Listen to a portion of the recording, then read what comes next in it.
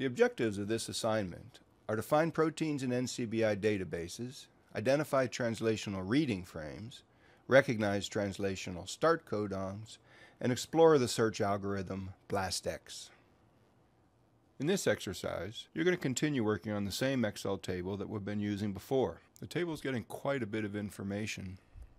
I'll show you a Excel trick to prevent the top row from scrolling off. If you mark this one, view, freeze panes. Now when you scroll, at least the gene ID will stay where it is so you know where you are. Okay, so this exercise starts in gene view. I'll slide this away here.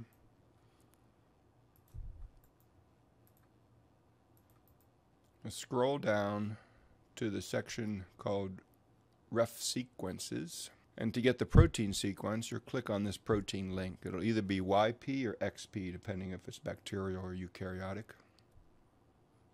And from this GenBank view, you should be able to complete the cells that talk about the protein definition, locus, and the number of amino acids. I also want you to write out the first three amino acids in this protein using the three letter code. To find the three letter code, go to the sequence manipulation site, scroll down to the IUPAC codes, and there they are. Next, obtain a FASTA sequence from each of these.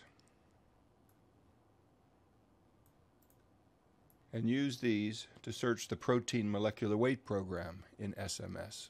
The Dalton is a standard unit for atomic mass, and you should be using kilodaltons, or KDA, as your unit of measure. Next, use the protein stats function to determine what the most frequent amino acid is in each protein. An open reading frame, or an ORF, is part of a reading frame that contains no stop codons the stop codons being TAG, TAA, or TGA. Open reading frames are used in bioinformatics for gene prediction because long stretches of RNA sequences without stop codons suggest the sequence encodes a polypeptide or stretch of amino acids. You're going to use SMS to find open reading frames in RNA sequences. In the gene view, click on the RNA sequence. Copy and put this into the open reading frame finder of, of SMS.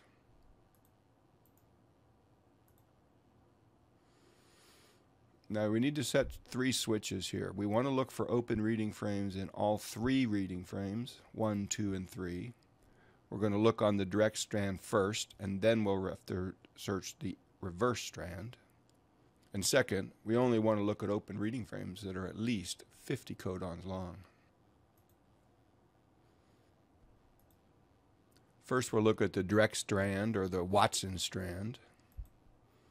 And here we find there's two open reading frames. Here's the nucleic acid and then the protein sequence, which is an open reading frame. Here's the second one, nucleic acid protein. So on the Watson strand, there's two open reading frames we need to look on both strands, both the direct and the reverse strand. And here we see some more open reading frames. One, two, three, four, five, six, seven. Seven open reading frames, which together with the first two means there's nine open reading frames. And that bit of information goes right here. Number of open reading frames bigger than three.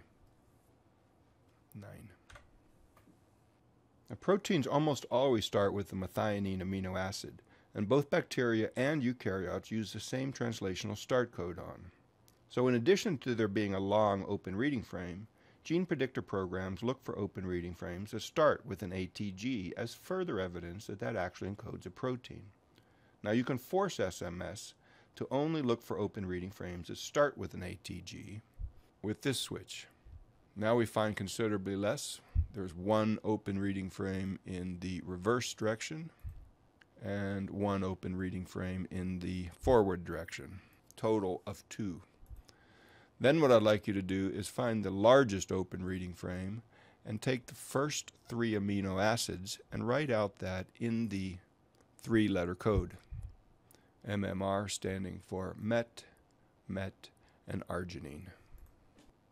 Be sure to look for all six open reading frames. The final part of this project is to use BLASTX to identify an unknown enzyme. So I gave you a DNA sequence, set the database to ref sequence, insert the FASTA format of your sequence here, and blast it. That's it.